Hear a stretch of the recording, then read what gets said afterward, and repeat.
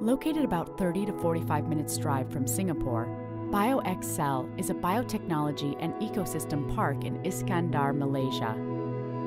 Veolia Water Technologies manages the operations of the Bio-XCell Central Utilities Facility to meet the requirements of the biotech companies such as chilled water, steam, and wastewater management.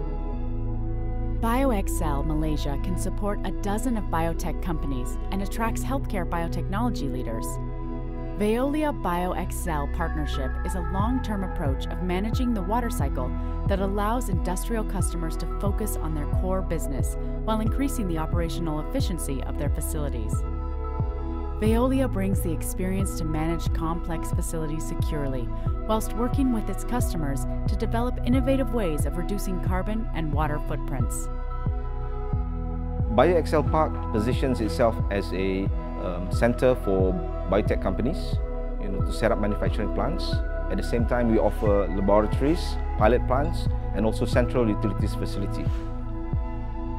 In Bio-XCell Park, we offer the central utilities facility that serves steam generation, chill water services and wastewater management. With that, we offer green energy uh, to create sustainability, at the same time innovation to our clients so that they can focus on their manufacturing. We are very excited to partner with Veolia because of the brand name and also the experience that they have to help us manage the central utilities facility to serve our clients better. Bio-XCell Park uses sustainability in the heart of its strategy to create a conducive environment for biotech companies in the region. For this project, uh, Veolia is monitoring uh, the operation and maintenance for Bio-XCell uh, CUF, there is Central Utility Facilities. There's three main scope under our responsibility. Number one is the wastewater treatment.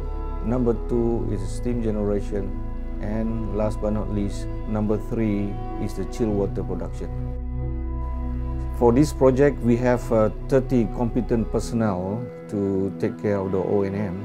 The challenges in getting people on board is to get very highly competent people that able to uh, justify the statutory requirement that is set by the government of Malaysia. The main objective of this partnership is to provide right expertise in making the park alive.